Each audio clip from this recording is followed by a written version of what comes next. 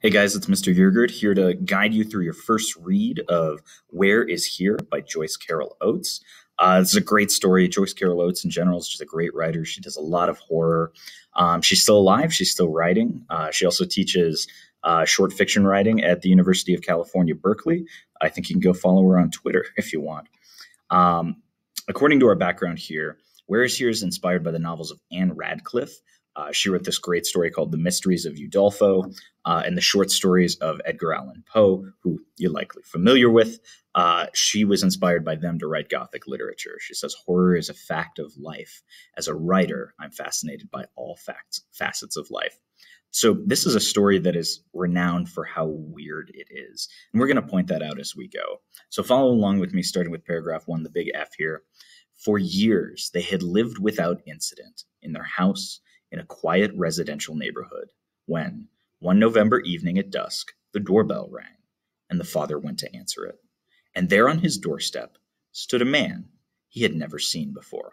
I love the way this story opens because apparently we have a house with a father, and I'm, I'm assuming also a mother, maybe kids, but it is so general.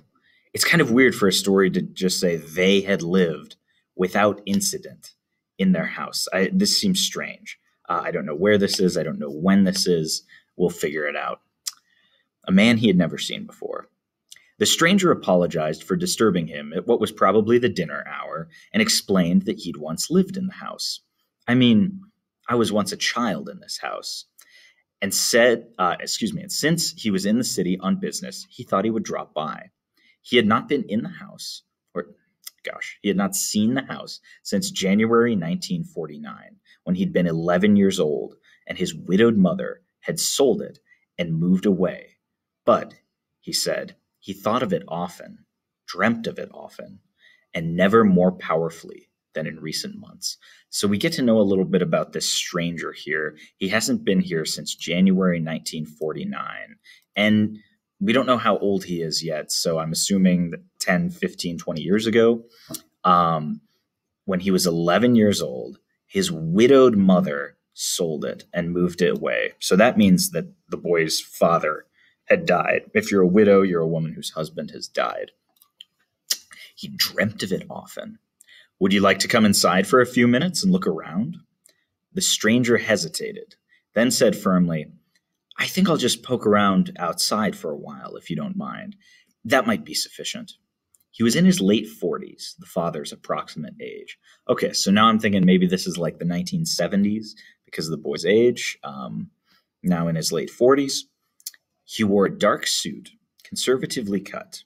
He was hatless, with thin, silver tipped, neatly combed hair, a plain, sober, intelligent face with frowning eyes. So these are some uh, some things that are teaching us about uh, the time period here. Not only is in is he in his late 40s, uh, but it also points out that he is hatless. Now, modern day businessmen and things like that, they, they don't wear hats very often.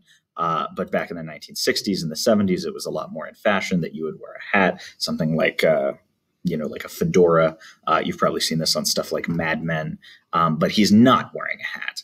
Um, with thin, silver tipped, neatly combed hair, a plain, sober, intelligent face, and frowning eyes. I get the feeling that this man is kind of sad or kind of ner- nervous because he's got a, a, real sober face, and that doesn't mean like not not inebriated. It means just kind of you know sad and and straight shooter and frowning eyes. The father, reserved by nature, but genial and even gregarious when taken unaware, said amiably, amiably of course, we don't mind, but I'm afraid so many things have changed since 1949. So the father is reserved by nature. If you're reserved, you don't give up a lot immediately.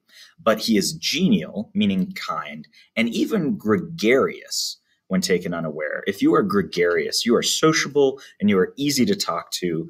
Uh, you're kind of a life of the party sort of person.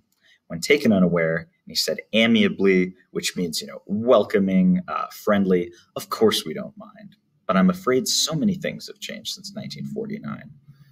What an interesting start to this story. I feel like I don't know anything about these people yet, even though She has said so much. And that's one of my favorite things about this story.